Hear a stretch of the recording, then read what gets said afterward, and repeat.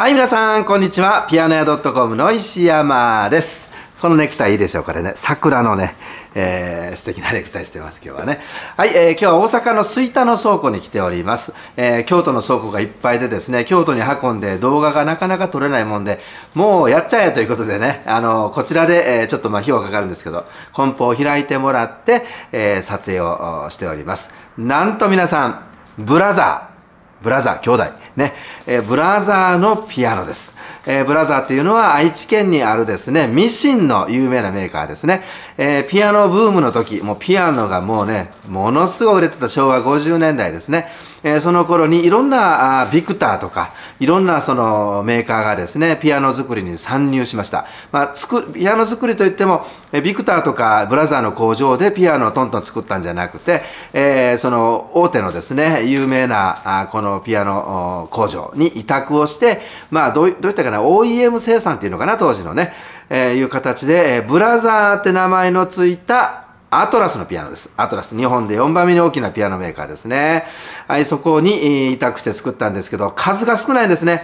まあ、アポロ、アトラスというのはやっぱり、あの、アップライトが主流、主流かな。アップライトがいっぱいやっぱり売れてたんですけども、そんな時にグランドを作るとなると、そらね、力入りますね。えー、やっぱりグランドを作るっていう、うすごいやっぱり職人としては嬉しいですよね。そのアトラスの、まあ、ブラザーブランドのこのグランド、ものすごい力入ってます。力って入ってるというか、もうあの、渾身の力を込めて作ったという、そういう印象があるんですね。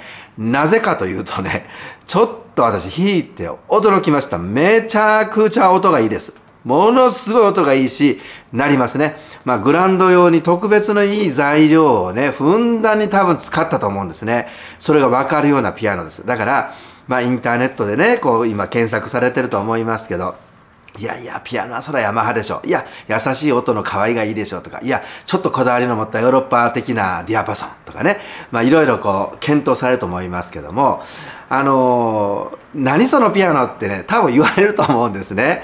えー、人が見たら、えー、ね、ブラザーとかね、えー、まあそれこそビクターとかね、えー、そんなん作ってたの？って言われると思いますけど、人の意見を気にしない人、いや、とにかくいいピアノが安く買えたらいいという方、そういう方には向いています。いや、人に言われて、えー、こんなピアノしたの？とか言って言われて、シュンとなるタイプの人はですね、やめといた方がいいですよ。ですから、まあ、とにかく安くでいいピアノが手に入らないかなって。で、私なんか特にそうですけども、人が持ってないものが欲しいんですよ。人と同じ嫌なんですね。人とちょっとでも違うものを欲しいっていう性格なので、タイプなので、まあそういう人にとっては、ちょっとね、逆に私は自慢できると思うんですね。ブラザーのピアノやで、ミシンちゃうで言うてね、言える。まあちょっと話長くなりましたけど、ここにね、梱包を開いてもらいました。これです。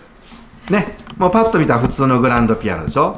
ね。えー、型番がね、B211 って言うんですね。あ、まあ、GP ですか。GP21 って。211って書いてたら211センチある大型かと思ったら実は違う。180何センチかですね。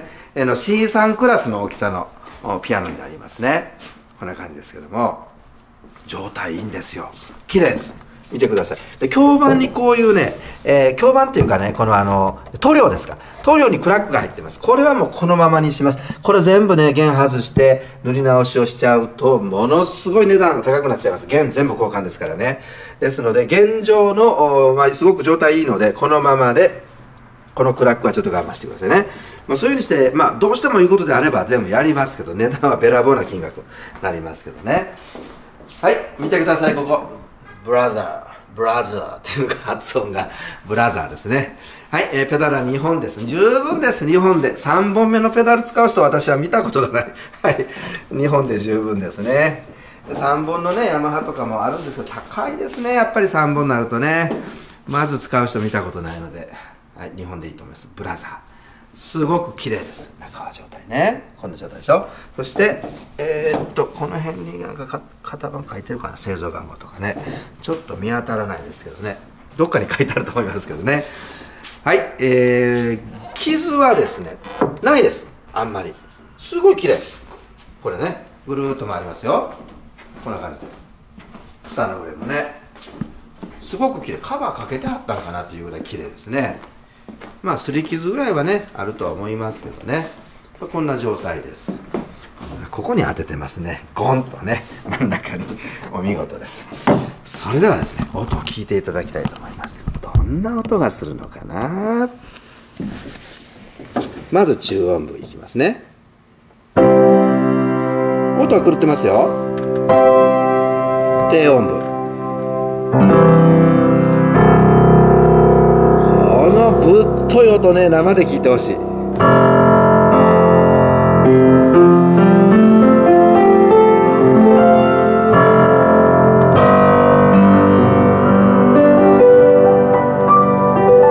すごい。ね高音がいきますよ。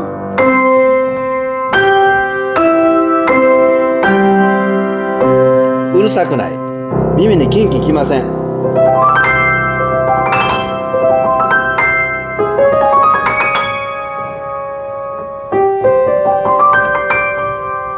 タッチも弾きやすいすごく。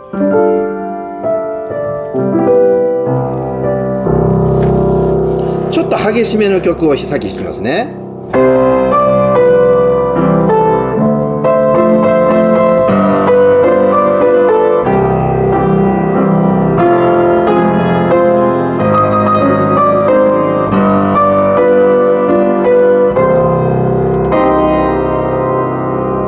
すごいでしょ「帰れソレント」そして静かめの曲も弾いてみます。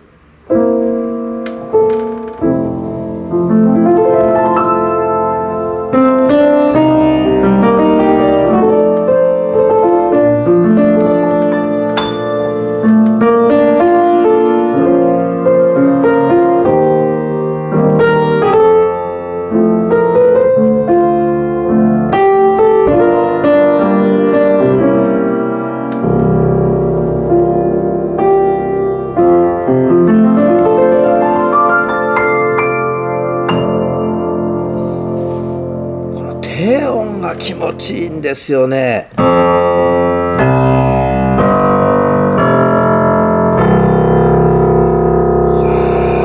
れはちょっと強烈ですね。久々のヒットですね。あの、これ山川以外、ね、ディアバソン以外でですね、ここまでなってくれるかというぐらいになってますね。まあもちろんね、知名度がありませんから値段はお安く出しますね。お安く出しますけども、ブランドにこだわらない方、ね、有名メーカーじゃなくても、音が良ければいい、タッチが良ければいいっていう方がいらっしゃいましたら、お声をかけてください。もう今後入ることないかもしれませんね。ブラザーのグランドなんてもう二度と手に入らないかもしれません。まあそういう意味でも希少価値はあると思いますけどね。ご希望の方はお知らせください。それでは、さよなら